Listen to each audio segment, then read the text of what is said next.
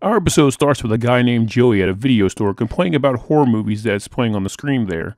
He's completely oblivious as to why the people at the store are turned away by him, not to mention he's too busy making snarky comments about the movie to realize his cute coworker is trying to ask him out, and instead mocks her taste in movies.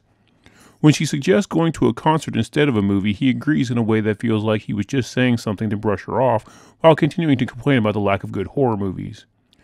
After she leaves, the power goes out in the store. As he's looking for a flashlight, someone walks in wearing a trench coat and black hat. He gets worried as the person ignores him, trying to tell him that the store is closed, but eventually she takes off the getup and he's extremely excited to find that she is a B movie horror actress that he's a huge fan of named Mindy McCobb. She tells him that she received his fan mail and asks him if he was going to ask her to sit down. He apparently has her sign a bunch of copies of films instead of having a conversation with her. She makes it known that she no longer plays victims in movies and plays the monster parts now. She tells him if he wants to know more, he should meet her the next night. He agrees, completely forgetting his date with his coworker he made earlier. The next day, his coworker continues to flirt, and he, being completely oblivious, basically throws at her that he's going out with Mindy instead, completely ignoring any mention that he had agreed to go to a concert that she's already bought the tickets for. Her being dejected asks to leave early, which he lets her, telling her that he'll tell her the details of the date later. After the store closes, a creepy guy shows up who apparently is a character from another movie he likes and basically kidnaps him, taking him to Mindy in a coffin.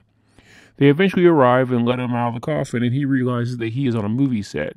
He thinks he's going to watch her film a movie called Fear Mistress, but she tells him that he is going to actually be in the movie and she gets to kill him.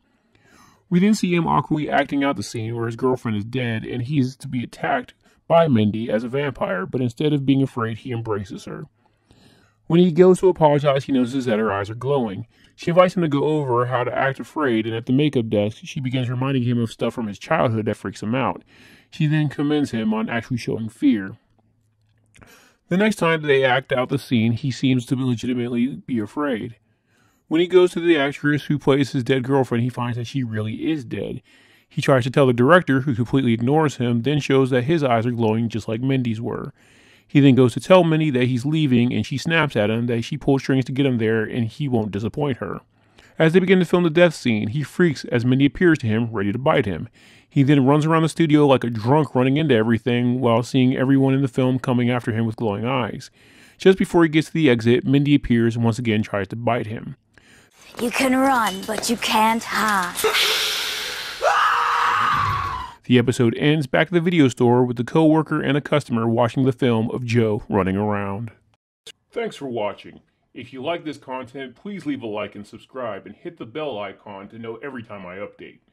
If you want to help my channel grow, please check out my Patreon where you can get access to content early as well as see the content that can't be uploaded here on YouTube. Link will be in the description. Until next time.